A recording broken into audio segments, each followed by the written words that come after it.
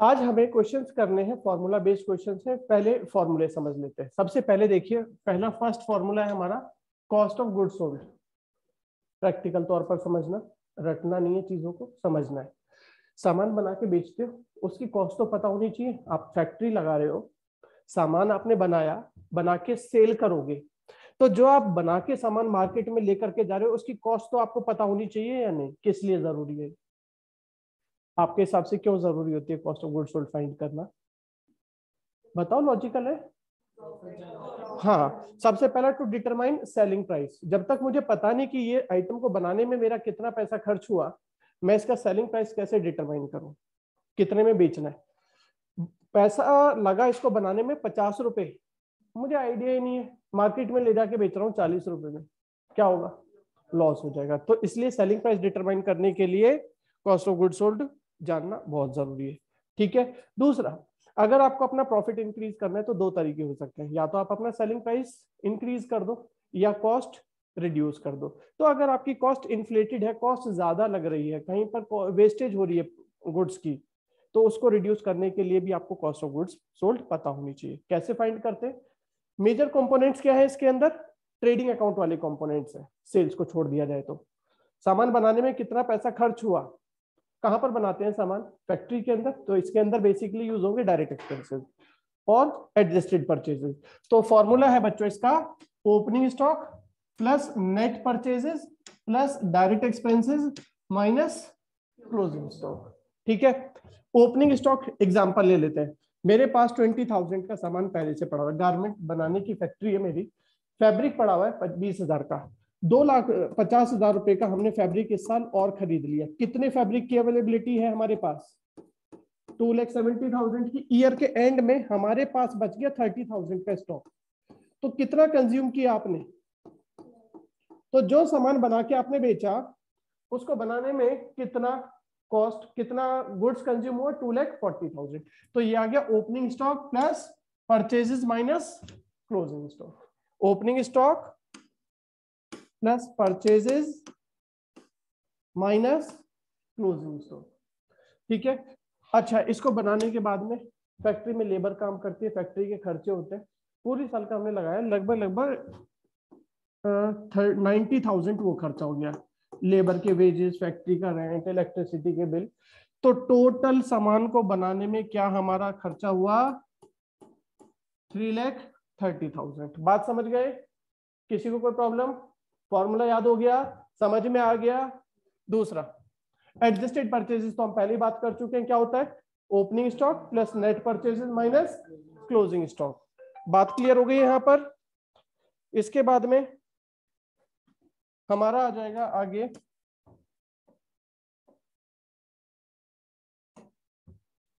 Gross profit अगर आपको find करना है तो कैसे फाइंड करेंगे?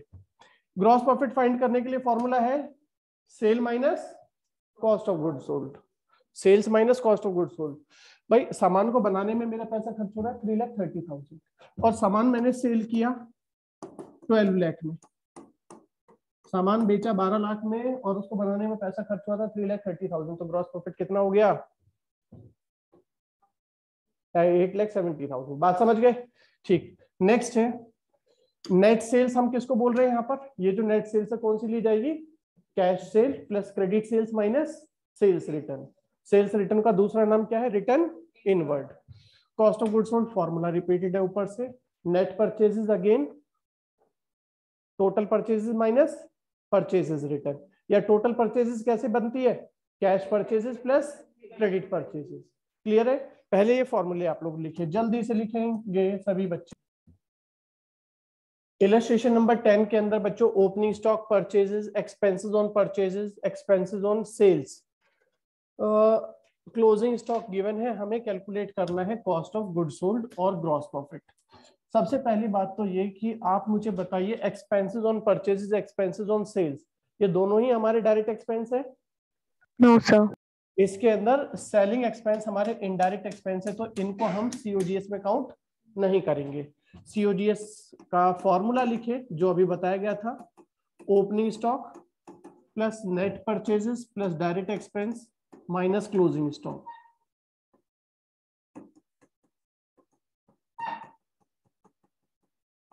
minus closing stock तो आपको यहाँ से सीओडीएस मिल जाएगा। ओपनिंग स्टॉक हमारे पास थर्टी थाउज़ेंड है purchases fifty four thousand six hundred है। परचेजेस रिटर्न है नहीं एक्सपेंसेस ऑन परचेजेस हमारे डायरेक्ट एक्सपेंस बन जाएँगे। और क्लोजिंग स्टॉक हमारे पास है thirty six thousand six hundred तो सीओजीएस कितना आ गया बच्चों हमारे पास? क्या रहा है? कैलकुलेट करके बताइए। Fifty four thousand next gross profit का फॉर्मूला क्या बताया गया था बच्चों? Net sales minus cost of good sold तो सेल्स हमारे पास क्वेश्चन में गिवन है ninety thousand cost of good sold है फिफ्टी फोर थाउज़ेंड तो ग्रॉस प्रॉफिट हो गया rupees thirty six thousand direct question है फॉर्मूला बेस्ड है, इसी तरह से नेक्स्ट इलेवेंथ जिन बच्चों का नहीं हुआ है टेंथ कंप्लीट कर ले। और जिनका टेंथ हो चुका है वो इलेवेंथ शुरू कर दें। कंटिन्यू करते चले।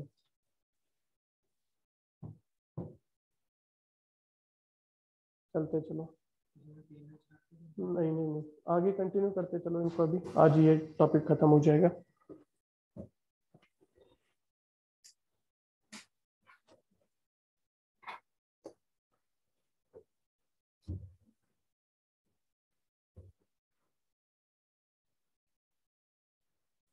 इलेवेंथ के अंदर पूछा गया है क्लोजिंग स्टॉक और कॉस्ट ऑफ़ गुड सोल्ड बच्चों, यहाँ पर हमें सेल दी गई है, पहले तो नेट सेल्स फाइंड कर लो। नेट सेल्स क्या मिलेगी हमें? Cell minus sales return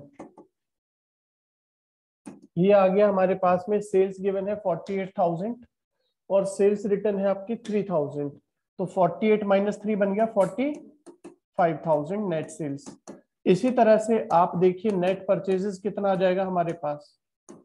purchases minus purchases return ये आ गया हमारा twenty seven thousand three hundred अब इन्होंने कहा कॉस्ट ऑफ़ गुड सोल्ड चाहिए।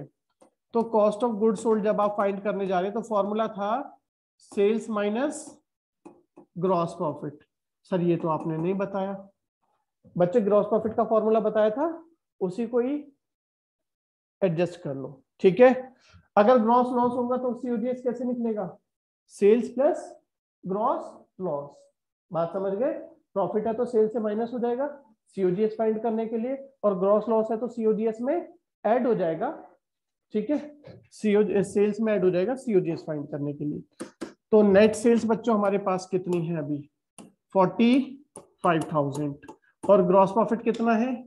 एटीन थाउज़ेंड तो कितना आ गया रुपीज़ ट्वेंटी सेवन थाउज़ेंड? ये आ गया सीओजीएस अब सीओजीएस का दूसरा फॉर्मूला देखो क्या था। Opening stock plus net purchases plus direct expenses minus closing stock फॉर्मूले में वैल्यूज़ पुट करो आंसर आ जाएगा। जल्दी से करो। Opening stock fifteen thousand COGS यहाँ से मिल गया था twenty seven thousand net purchases twenty seven thousand three hundred direct expenses के अंदर आ जाएगा कैरेज इनवर्ड कितना है? थ्री थाउज़ेंड और क्लोजिंग स्टॉक हमारे पास कितना है? वो तो फाइंड करना है।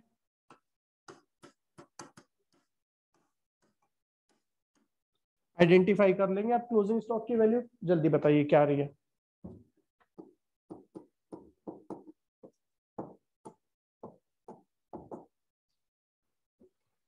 Twenty seven thirty forty five forty five minus twenty seven eighteen thousand three hundred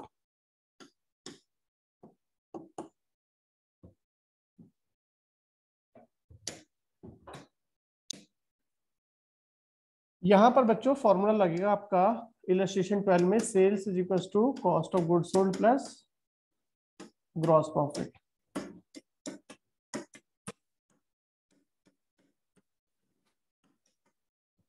तो सेल्स हमारे पास कितनी है? नहीं पता। और ये कहता है ग्रॉस प्रॉफिट है सेल्स का ट्वेंटी परसेंट तो अगर हम सेल्स को एक्स ले लें सीओजीएस अभी ये भी नहीं है, और ग्रॉस प्रॉफिट कितना हो जाएगा? ट्वेंटी एक्स अपॉन हंड्रेड ये फॉर्मूला समझ में आ गया? नहीं याद रहता है, वैसे तो फॉर्मूला ग्रॉस प्रॉफिट वाला ही है। आप इसको भी लिख लो उसी फॉर्मूले की लिस्ट में। ठीक है? अब सीओजीएस पहले फाइंड कर दो। सीओजीएस का फॉर्मूला क्या जाएगा? Opening stock plus purchases plus direct expenses में क्या क्या है? ये तीनों डायरेक्ट एक्सपेंसेस हैं। Wages freight carriage inward opening stock plus purchases plus direct expenses minus closing stock जल्दी से फॉर्मूला लगाओ। ओपनिंग स्टॉक मेरे पास है बच्चों वन लैख परचेजेस हमारे पास है two lakh eighty thousand direct expenses में तीनों है, तीनों का टोटल कर लिया तो सिक्स थाउज़ेंड सिक्स हंड्रेड और क्लोजिंग स्टॉक हमारे पास है एटी थाउज़ेंड। तो वैल्यू आ गई two lakh three lakh six thousand, six hundred. तीन लाख छह हज़ार छह सौ रुपए कॉस्ट ऑफ़ गुड सोल्ड आ जाएगा। फॉर्मूला लगाया था sale is equal to COGS cost of good sold plus gross profit cost of good sold हो गया three lakh six thousand six hundred. Sales को एक्स ले लिया ग्रॉस प्रॉफिट है twenty X upon hundred. X की value बताओ क्या आ जाएगी यहाँ से? जल्दी करिए बच्चों। Three lakh eighty three thousand two fifty three lakh eighty three thousand two forty very good अब आपके पास से lakh two fifty two fifty ठीक है। अब इसके बाद में आप ट्रेडिंग अकाउंट बना सकते हैं इसीलिए upon hundred is equal to three lakh six thousand six hundred तो आप कह सकते हैं वन बाय फाइव तो four X by five, X की वैल्यू मिल जाएगी three lakh six thousand six hundred into five divided by four. ये वैल्यू हमें मिल गई।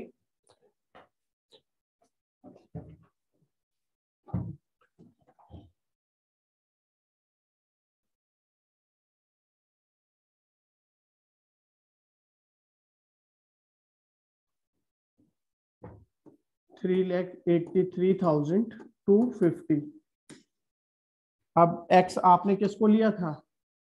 सेल्स तो आपके पास में नेट सेल्स आ गई।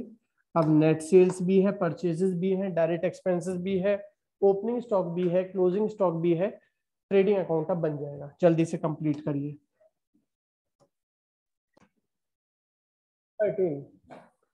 हमारे पास सेल्स गिवन है नाइन लैख ग्रॉस प्रॉफिट है thirty percent of sales find the cost of good sold formula क्या था आपके पास?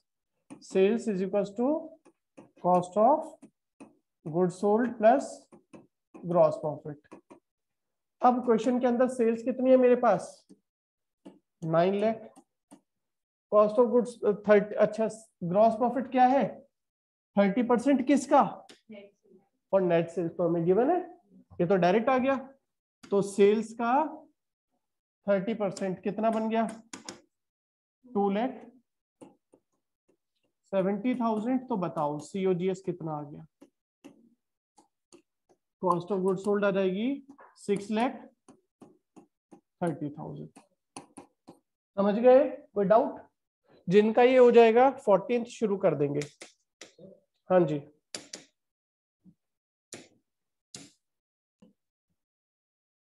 देखें बच्चों इलस्ट्रेशन नंबर 15 यहाँ पर ओपनिंग स्टॉक गिवन है कैश सेल्स गिवन है क्रेडिट सेल्स गिवन है क्वेश्चन में, और परचेजेस गिवन है, और ये इंपॉर्टेंट है, ध्यान दीजिएगा ग्रॉस प्रॉफिट है कॉस्ट का 33 three two one by three percent इसको मैं ऐसा भी कह सकता हूँ कि gross profit is equal to one by three of cost of good sold ऐसा कह सकते हैं ना, सभी बच्चों को पता है। चलिए तो पहले सेल्स देख लेते हैं। नेट सेल्स कितनी है हमारे पास? Cash sale plus credit sales कितनी आ गई? वन लैख ठीक है? अब सेल्स का फॉर्मूला लिख दो। क्या फॉर्मूला था? Cost of good sold plus gross profit ये तो सब बच्चों को मालूम है। अब इधर देखो। यहाँ पर सेल्स की वैल्यू पुट कर दो। सेल्स कितनी बेटा इधर? अभी लिखो नहीं। कितनी? वन लैख कॉस्ट एक्स मान लिया। तो ग्रॉस प्रॉफिट कितना हो जाएगा? एक्स का वन बाई थ्री यही था सीओजीएस का thirty three two one by three percent तो यहाँ से एक्स की वैल्यू आपकी आ जाएगी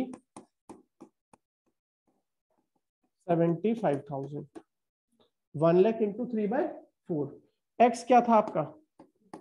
सीओजीएस आ गया समझ में? अब सीओजीएस का दूसरा फॉर्मूला डालो. कॉस्ट ऑफ़ गुड सोल्ड का फॉर्मूला होता है opening stock plus net purchases minus plus direct expenses फ़िलहाल है नहीं तो हम नहीं लिख रहे। चलो लिखना चाहते हो तो लिख लो। Direct expenses minus closing stock अब सीओजीएस आपके पास ये रही पुट करो seventy five thousand opening stock ये रहा ट्वेंटी थाउज़ेंड परचेजेस आपके पास ऑलरेडी है seventy thousand direct expenses question में आपको मिल नहीं रहा तो ज़ीरो मान लेना। क्लोजिंग स्टॉक फाइंड करो, जल्दी से वैल्यू पुट करके।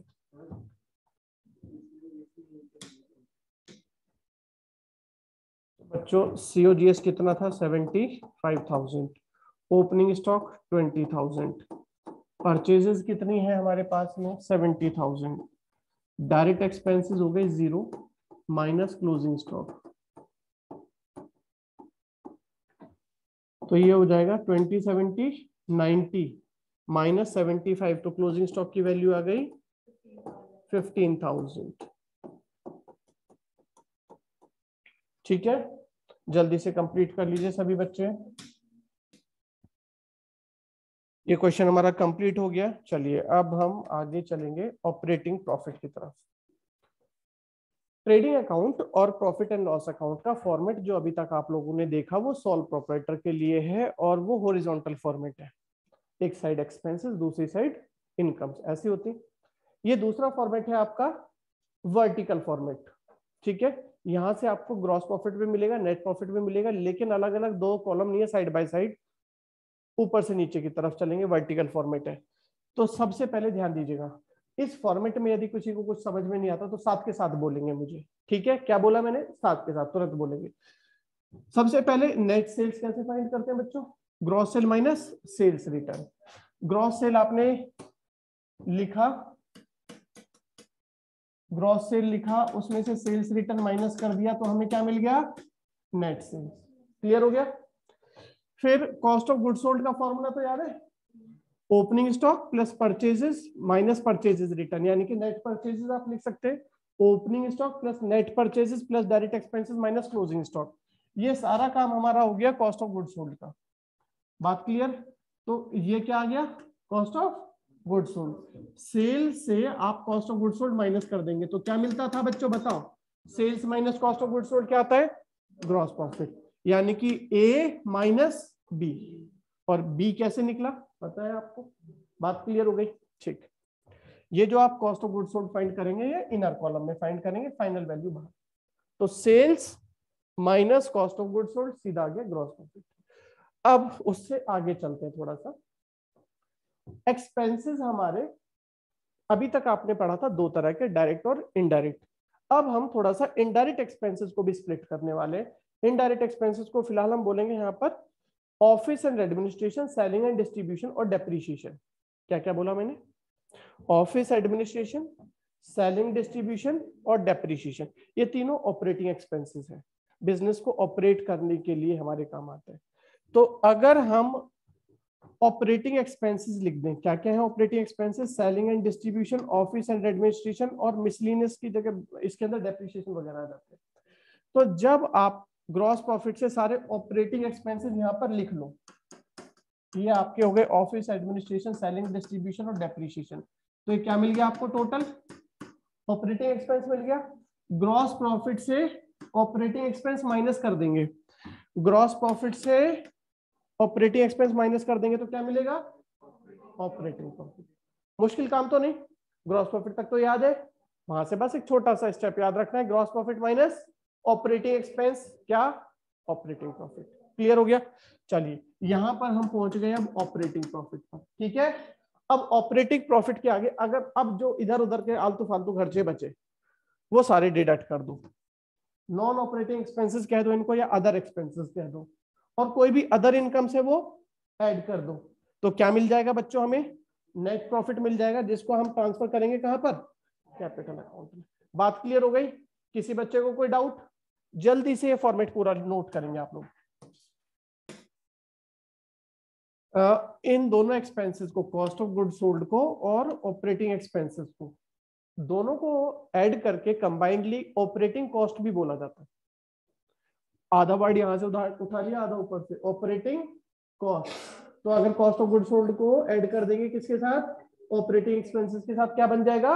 ऑपरेटिंग कॉस्ट तो अगर मैं सेल्स से सीधे ऑपरेटिंग कॉस्ट मतलब ये दोनों माइनस कर दूँ तो कहाँ पहुँच गए डायरेक्टली ऑपरेटिंग प्रॉफिट पर। ये रहा। सेल्स माइनस ऑपरेटिंग कॉस्ट भी क्या जाएगा ऑपरेटिंग प्रॉफिट ठीक है? और ऑपरेटिंग कॉस्ट मतलब आगे लिखा हुआ है क्या है? कॉस्ट ऑफ़ गुड सोल्ड और ऑपरेटिंग एक्सपेंसेस ठीक है? अगर नेट प्रॉफिट दिया हुआ है, पहले बताया था आप लोगों को, उल्टा जा रहे हैं। प्रॉफिट से अगर आप ऑपरेटिंग प्रॉफिट पर जा रहे हैं ऑपरेटिंग प्रॉफिट से नॉन ऑपरेटिंग एक्सपेंस आपने माइनस किया था नॉन ऑपरेटिंग इनकम आपने ऐड किया था तो मिले, मिला था आपको नेट प्रॉफिट अब नेट प्रॉफिट से उल्टा जा रहे हैं ऑपरेटिंग प्रॉफिट पर तो क्या करना पड़ेगा?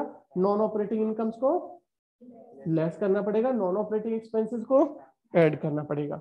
वही हो गया यहाँ पर। समझ में आ गया? आगे। ऑपरेटिंग एक्सपेंसेस होते कौन से हैं? बात पहले हो चुकी है। Office and administration selling and distribution और डेप्रिसिएशन इसके अंदर आ जाएँगे। कुछ क्वेश्चंस देख लेते हैं यहाँ पर। हाँ जी, ये तो सिंपल है। यहाँ पर बात कर लेते हैं। ये देखिएगा। ऑपरेटिंग प्रॉफिट बताना है और नेट प्रॉफिट बताना है। तो सबसे पहले क्या गिवन है बच्चों आपको? ग्रॉस प्रॉफिट तो ग्रॉस प्रॉफिट से ऑपरेटिंग प्रॉफिट पर जाने के लिए क्या करना पड़ेगा?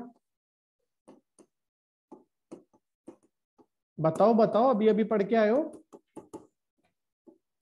ग्रॉस प्रॉफिट से आपको पहुँचना है ऑपरेटिंग प्रॉफिट पर तो माइनस करना पड़ेगा ऑपरेटिंग एक्सपेंसेस ठीक है ना? अब ऑपरेटिंग एक्सपेंसेस आपके कौन कौन से हैं यहाँ पर? ऑपरेटिंग एक्सपेंसेस में थे office and administration selling and distribution expenses पहले मैं यहाँ पर ऑपरेटिंग एक्सपेंसेस ही फाइंड कर लू। तो ऑपरेटिंग एक्सपेंसेस कौन कौन से हैं? बच्चों, आप बताओ, क्या कैरेज आउटवर्ड ऑपरेटिंग एक्सपेंस है? ऑपरेटिंग एक्सपेंस कौन से थे? Soda selling and distribution office and administration तो ये सेलिंग एक्सपेंस तो है, सामान को सेल करा रहे हैं। तो ये ऑपरेटिंग एक्सपेंस है। एडवर्टीजमेंट भी सामान को सेल कराने का खर्चा ऑपरेटिंग है। सैलरी ऑफ़िस के खर्चे, ये भी ऑपरेटिंग है। Rent lighting insurance charges bad debt भी सामान सेल करते हैं, इसलिए तो पैसा डूबता है। ये भी ऑपरेटिंग एक्सपेंस है। ऑडिट फ़ी, ऑफ़िस का खर्चा है, ऑपरेटिंग एक्सपेंस है। Interest on loan, interest on invest, printing and stationery, office के खर्चे हैं, ऑपरेटिंग एक्सपेंस है। जर्नल एक्सपेंस, ऑपरेटिंग एक्सपेंस है। बस। क्या मिल जाएगा हमें? सबको ऐड कर दो। ऑपरेटिंग एक्सपेंसेस आ जाएगा। ऑपरेटिंग एक्सपेंसेस माइनस कर देंगे, ग्रॉस प्रॉफिट से तो कहाँ पहुँच जाओगे? ऑपरेटिंग प्रॉफिट अब हमारे पास रह कौन से खर्चे गए? इंटरेस्ट ऑन लोन ये आपका non operating expense interest on investment non operating income loss on sale non operating expense donation भी पेड मानी जाएगी तो non operating expense rent receive non operating income loss by fire non operating expense gain on sale non operating income ठीक है? जल्दी से करो अब इसको। ग्रॉस प्रॉफिट यहाँ से ऑपरेटिंग प्रॉफिट फाइंड करो और नेट प्रॉफिट फाइंड करो। जल्दी से करेंगे।